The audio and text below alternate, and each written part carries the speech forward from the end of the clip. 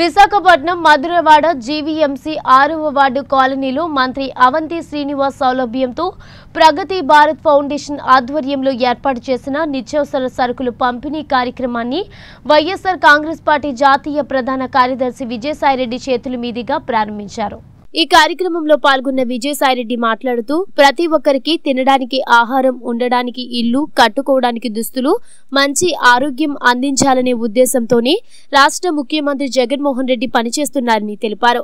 అదేవిధంగా తెలుగుదేశం పార్టీ కావాలని English medium బిల్లుకు అడ్డంకులు సృష్టించిందని ఆరోపించారు.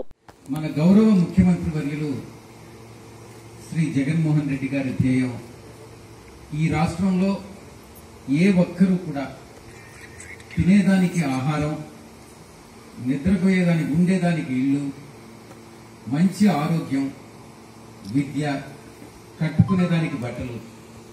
వీటికి ఎవరికీ కూడా కొరత రాకూడదు అన్నటువంటి ధ్యేయంతో కులాలకి మతాలకి అతీతంగా పేద బడుగు వర్గాలకు మాత్రం ప్రత్యేక దృష్టి వహించి ఆయన ఇస్తున్నటువంటి పరిపాలన నిజంగా ప్రతి ఒక్కరూ కూడా అభిలషించినటువంటి విషయం.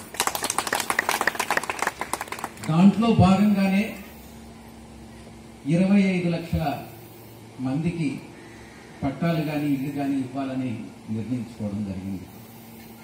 కానీ ఈరోజు డేట్ కూడా ఫిక్స్ చేసి ఆ డేట్కి ఇవ్వలేకపోవడానికి కారణం ఎవరనేటటువంటి విషయం మీ అందరికీ కూడా తెలుసు.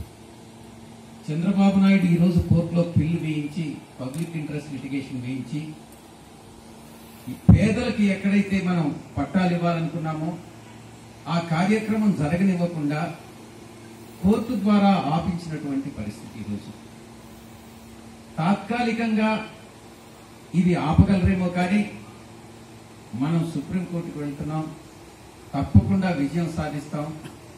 ఏ కోర్టు కూడా ప్రజల శ్రేయస్సుని ముఖ్యంగా పేద ప్రజల శ్రేయస్సు కోసం పాటుపడేటటువంటి ఏ కార్యక్రమాన్ని కూడా దేశంలో కానీ ప్రపంచంలో కానీ ఏ కోర్టు అడ్డుకోలేదు ఎవరు కూడా అడ్డుకోలేదు.